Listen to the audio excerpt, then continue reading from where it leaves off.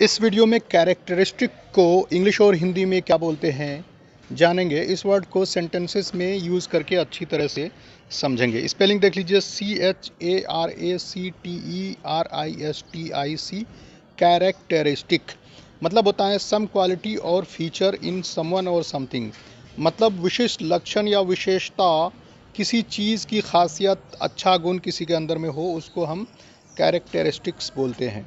हिंदी अर्थ होता है विशिष्ट लक्षण, विशेषता, गुण, लक्षण, खासियत या सिफत। सिनोनिम्स आते हैं इंग्लिश में।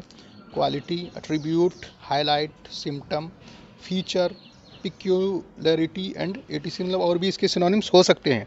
एग्ज़ाम्पल से सेंटेंसेस में समझते हैं। जैसे बोलेंगे the only characteristic the son got from his father was his dark eyes मतलब बेटे ने अपने बाप से जो सिफत पाया है वो उनकी काली आँखें हैं।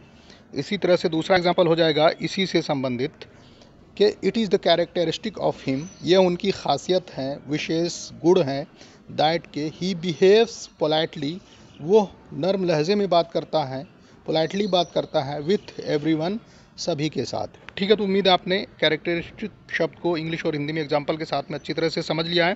Thanks for watching Educare desk